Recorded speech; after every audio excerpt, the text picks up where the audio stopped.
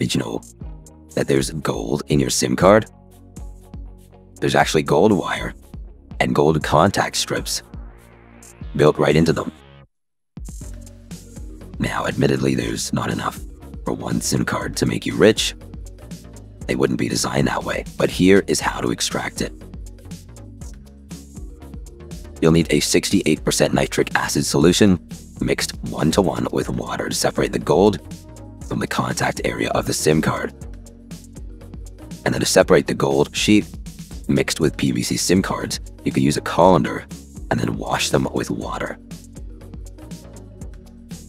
And you can see now, after being left in that solution for a long time, the waters run through here over a colander and just check out what ends up on top. Now, while it might look impressive, that's just phase one.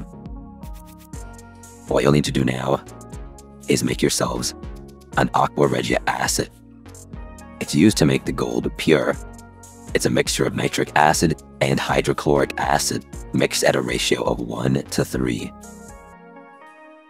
And you can see now it's being poured over all of that golden looking powder that was extracted from the SIM cards. And over time, what you'll get is a muddy looking sludge or powder. It looks almost black. That is your gold dust. That's the important stuff. Now on a low heat, dry it out.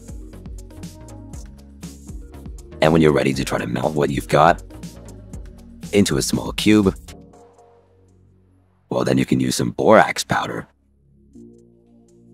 and sprinkle that over top while either using induction heating or a torch like this. And it might take a few goes and a few rounds of sprinkling that powder on and sprinkling in your black gold dust until the whole thing forms one solid. And as you can see here, it took two or three rounds of that heat and more powder, heat and more powder, adding that gold dust until incredibly, it starts to solidify. But don't think you're going to get rich pulling that one SIM card out of your phone. Check this out.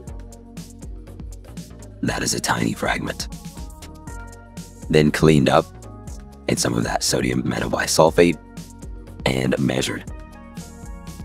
That's not a lot. In fact, to get one ounce of gold, it would take 56,000 SIM cards.